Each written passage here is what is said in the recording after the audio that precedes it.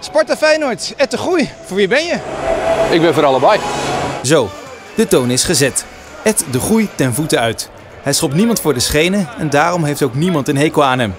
Naast de vraag wat hij verwacht van de wedstrijd, Wat gaat worden? dat heb ik de hele tijd. Wacht even. wil iedereen ook weten of de groei ook voor Jones in plaats van Vermeer had gekozen. Allebei zijn er natuurlijk twee fantastische keepers. Allo- alhoewel natuurlijk eh, Kenneth terugkomt van, eh, van de blessure. eh, is hij natuurlijk een gigantisch goede keeper. Maar Jones heeft het heel goed gedaan tot op heden. En ik denk dat Feyenoord eh, juist heeft gedaan om te laten staan. De groei is nog maar net gaan zitten of het hele stadion is stom verbaasd als Pogba binnen de minuut de 1-0 binnenkopt. Hey joh!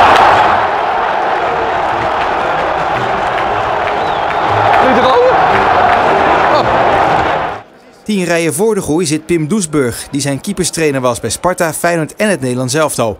Beide keepers zijn in de rust verrast. Positief over de ploeg van West, negatief over die van Zuid. Ja, wat ik verleden week zag bij PSV was ongelooflijk. En wat ik nu zie is het tegenovergesteld. Wat Feyenoord jou tegen?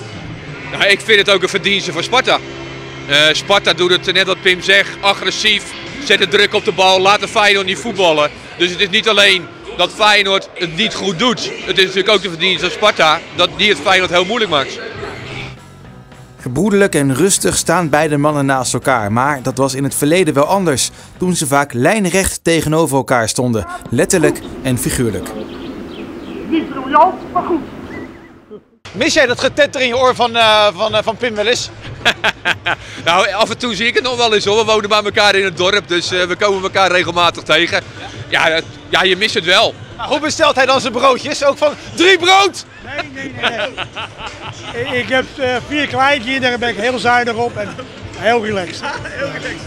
Want er waren dagen dat ze elkaar wel wat aan konden doen. Laten we het zo zeggen, Doesburg en de Groei kwamen niet op elkaars verjaardag.